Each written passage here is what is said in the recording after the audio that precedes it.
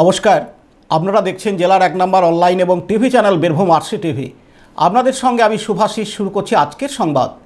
বিস্তারিত সংবাদে যাওয়ার আগে দেখে নেব সংবাদ শিরোনাম। শুরু হলো শান্তিনিকেতন মেডিকেল কলেজের প্রথম ব্যাচের ক্লাস।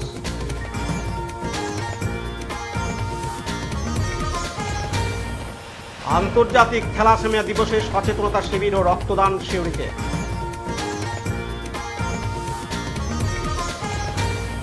বিদ্যাসাগর সায়েন্স অলিম্পিয়াড নবম ও দশম শ্রেণির পরীক্ষা দুবরাজপুরে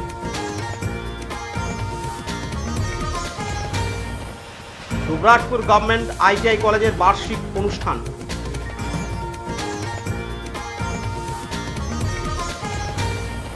কুয়ে নদীর সেতু উদ্বোধন না হওয়ায় চিন্তায় এলাকার মানুষ ও বাস চালকরা।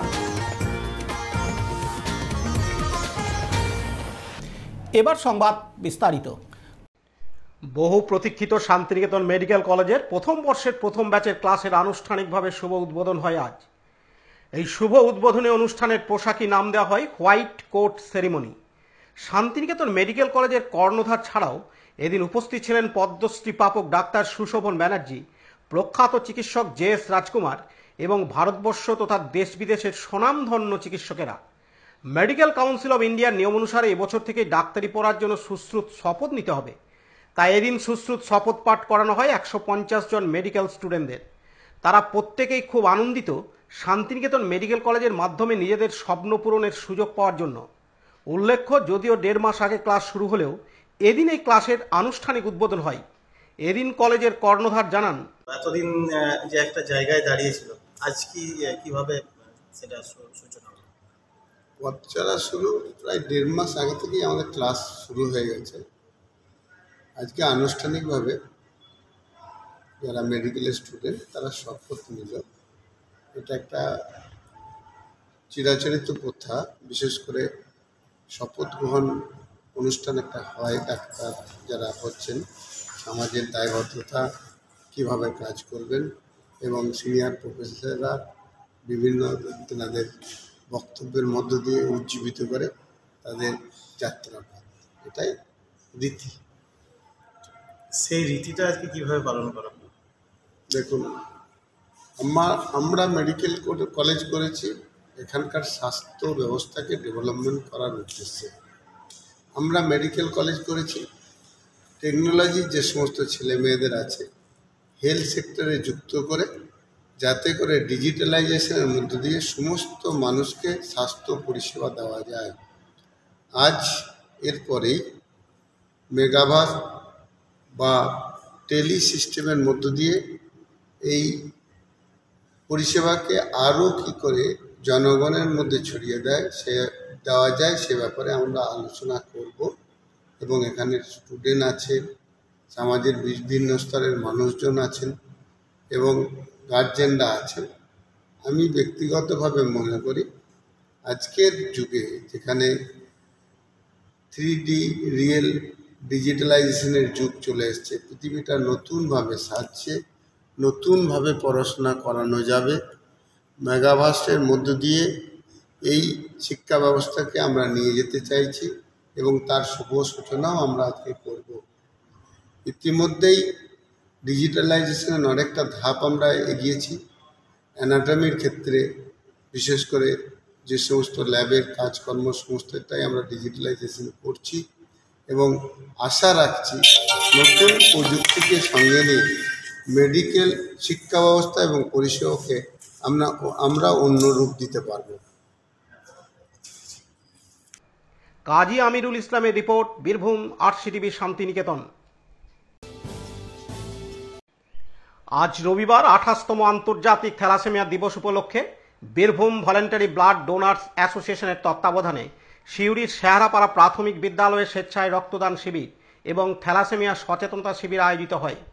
উদিচি রাঙামাটি চ্যারিটেবল ট্রাস্ট এবং সিউড়ি পৌরসভার দশ ও বারো নম্বর ওয়ার্ডের সহযোগিতায় এই শিবির সংগঠিত হয়।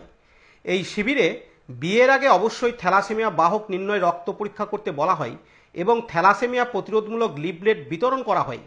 এই শিবিরে উপস্থিত ছিলেন সিউড়ি বিধানসভার বিধায়ক তথা জেলা পরিষদের সভাধিপতি বিকাশ রায়চৌধুরী, কাউন্সিলর মোহাম্মদ শফি অশোক রায় এবং সংগঠনের সহ সভাপতি প্রিয়নীল পাল, মোশারফ রাজ রহিম প্রমুখ।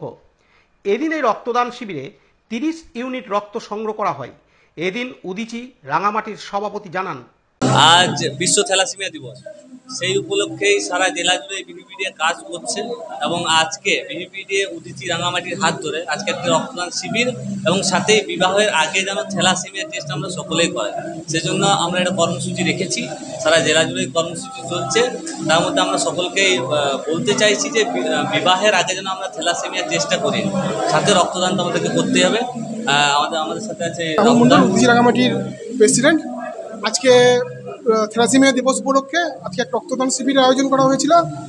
এটাই বিবাহের আগে যেন থ্যালাসেমিয়া টেস্ট করা হয়, তার জন্য একটা উদ্যোগ এবং থ্যালাসেমিয়াদের রুগীদের যেন সঠিকভাবে রক্তের যোগান থাকে, তার জন্য এই উদ্যোগ। এই উদ্যোগে সম্পূর্ণভাবে আমাকে সহায়তা করেছে মুশারফ হোসেন পিওনিল এবং আরও যারা আছেন। তো বীরভূম জেলার পক্ষ থেকে সকলকে ধন্যবাদ এবং যারা রক্তদান করেছেন এখানে, তাদেরকে খুব মানে আমাদের উদ্দিজি রাঙামাটির তরফ থেকে ধন্যবাদ। Patit Paban বৈরাগ্যের report, Birbhum RCTV Suri. Jagadish Bose national science talent সার্চের ব্যবস্থাপনায় এবং পশ্চিমবঙ্গ সরকারের শিক্ষা দপ্তরের উদ্যোগে আজ রবিবার বিদ্যাসাগর সায়েন্স অলিম্পিয়াড নবম এবং দশম শ্রেণির জন্য অনুষ্ঠিত হল দুবরাজপুর শ্রী শ্রী সারদা বিদ্যাপীঠ কেন্দ্রে। জেলার তেইশটি বিদ্যালয় কেন্দ্রে এই পরীক্ষা নেওয়া হয়। নবম এবং দশম শ্রেণির ছাত্রছাত্রীরা এই পরীক্ষায় অংশগ্রহণ করেছে। দুবরাজপুর ব্লকের মাধ্যমিক ও উচ্চ মাধ্যমিক বিদ্যালয়ের নবম এবং দশম শ্রেণির কমপক্ষে পাঁচজন করে মেধাবী ছাত্র ও ছাত্রী এই পরীক্ষায় বসে।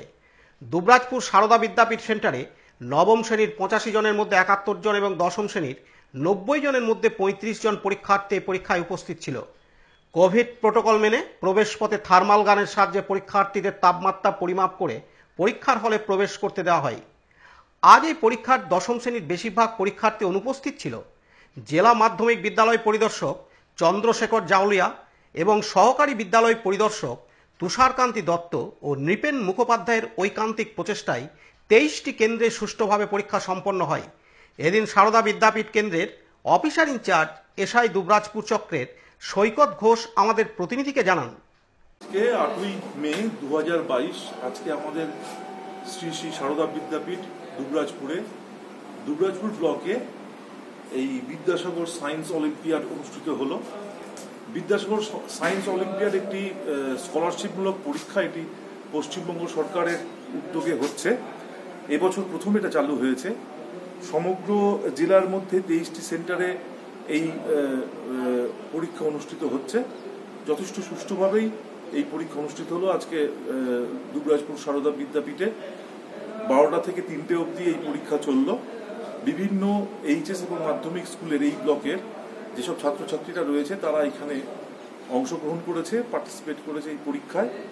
মোটামুটি টেনের নব্বই জন এবং নাইনের পঁচাশি জনের এনরোলমেন্ট ছিল, যেখানে আমাদের টেনের পঁয়ত্রিশ জন এবং নাইনের একত্রিশ জনের আমরা অ্যাটেন্ডেন্স একাত্তর জনের অ্যাটেন্ডেন্স পেয়েছি।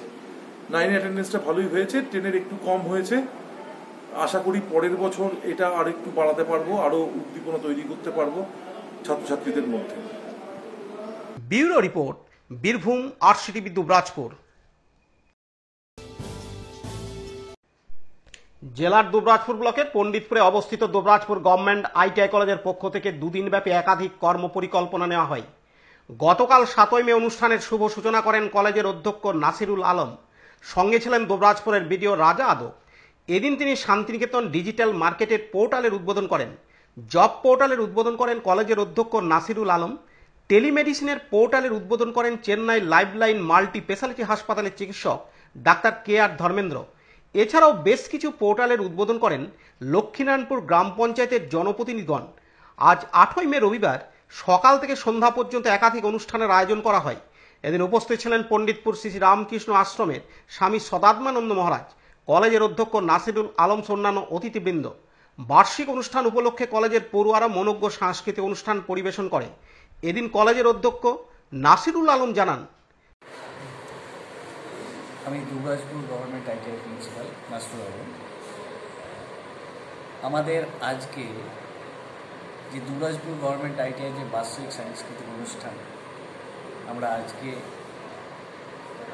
আয়োজন করলাম, আজকেই আমাদের শুরু। এই অনুষ্ঠান আমাদের আজ আর কাল অনুষ্ঠিত হবে। আজকের প্রোগ্রামের মেন উদ্দেশ্য আমাদের চিফ গেস্ট এবং আমাদের দুবরাজপুরের ব্লক ডেভেলপমেন্ট অফিসারের মাধ্যম দিয়ে আমরা আজকে কিছু ইম্পর্টেন্ট পোর্টাল উদ্বোধন করলাম। যে পোর্টালগুলির নাম হলো SD market portal admission portal job portal এছাড়া আরও পোর্টাল আমরা উদ্বোধন করলাম। এই উদ্বোধনের মাধ্যম দিয়ে আমরা অনুষ্ঠানটা পরিচালনা করতে করেছি। এই উদ্বোধন পোর্টালগুলোর মেন উদ্দেশ্য হলো যে আমি জব পোর্টালের কথাই বলি। যেসব ছেলেমেয়েরা আজকে কর্মহারা বা যেসব ছেলেমেয়েগুলো পাস করার পরে এখনও কর্মসংস্থান, কর্মসংস্থানে এঙ্গেজ হতে পারেনি সেই সব ছেলেমেয়েদের কথা ভেবে আমরা কোম্পানির সাথে টাই আপ করে আমরা এই পোর্টালে লিঙ্ক আপ করে লিঙ্ক আপ করি, যাতে পাস আউট স্টুডেন্টরা এই পোর্টালে রেজিস্টার করে তারা যেন সহজেই জবে ইনভলভমেন্ট হতে পারে। এছাড়াও আমরা টেলিমেডিসিন পোর্টালটা লঞ্চ করেছি। শেখ রিয়াজুদ্দিনের রিপোর্ট, বীরভূম আরসিটিভি দুবরাজপুর লাভপুরের লাঘাটায় কুয়ে নদীর নতুন সেতু তৈরি হয়েও না হওয়ার অবস্থা। প্রায় বছর বছরখানেক হতে চলল কুয়ে নদীর উপর লাঘাটায় নতুন সেতু নির্মাণের কাজ সম্পন্ন হয়েছে। কিন্তু উদ্বোধনের অপেক্ষায় রয়েছেন গ্রামবাসী থেকে এলাকার পথ চলতি মানুষজন। এই নিয়ে মানুষের মনে প্রশ্ন জাগছে, কবে চালু হবে এই নতুন সেতু? আদৌ কি চালু হবে এই সেতু? সামনেই তো আসছে বর্ষাকাল। এবারও কি তাহলে বন্যার কবলে পড়তে হবে এলাকার বাসিন্দাদের? এই নিয়ে চিন্তায় রয়েছেন এলাকার মানুষজন সহ বাস চালকরা। কারণ বর্ষার সময় নিচু এলাকা হওয়ায় ডুবে যায় লাঘাটার সেতু। এর ফলে হয়রানি হতে হয় বাস চালকদের। বন্ধ হয়ে পড়ে সিউড়ি কাটোয়া রাজ্য সড়ক। ফলে ভোগান্তির শিকার হতে হয় আম জনতাদের। বেশ কয়েকবার উদ্বোধনের দিন ঠিক হলেও বিভিন্ন কারণে বন্ধই থেকে যায় এই সেতু উদ্বোধনের কাজ। এই সেতুর কি নাম রাখা হবে সেই নিয়েও চিন্তাভাবনা চলছে রাজ্য রাজনৈতিক মহলে। এই নিয়ে চিন্তায় পড়েছেন পথ চলতি মানুষ থেকে শুরু করে বাস চালকরা। কাজী আমিরুল ইসলামের রিপোর্ট, বীরভূম, আরসিটিভি লাভপুর। আজকের সংবাদ এই পর্যন্ত। পরবর্তী সংবাদের জন্য চোখ রাখুন বীরভূম আরসি টিভির পর্দায়। নমস্কার।